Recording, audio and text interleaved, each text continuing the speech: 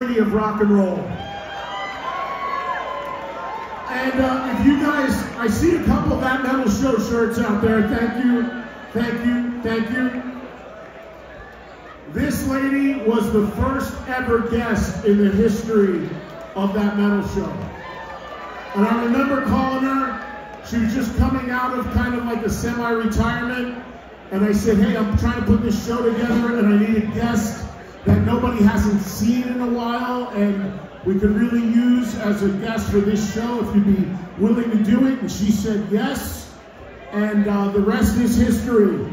You know who I'm talking about, right?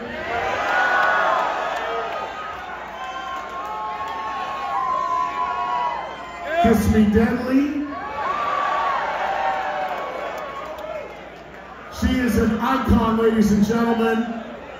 Course, it all started with the Runaways, the most one of the legendary all-female bands, and of course, an amazing solo career. Close My Eyes Forever, anybody? Cherry Bomb, anybody? Ladies and gentlemen, it's an honor to welcome to the stage my friend, and for sure, the First Lady of Rock and Roll, and her and the Runaways should be in the Rock and Roll Hall of Fame. I'm saying that right now, and we're going to make that happen. The one and only Lita Ford, everybody.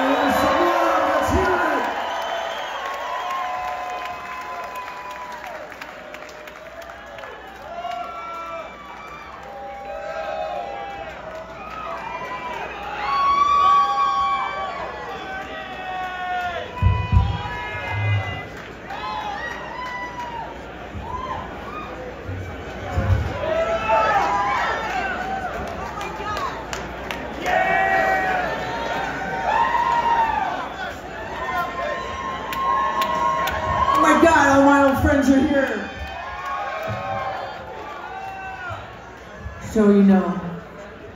It is a party backstage, Eddie.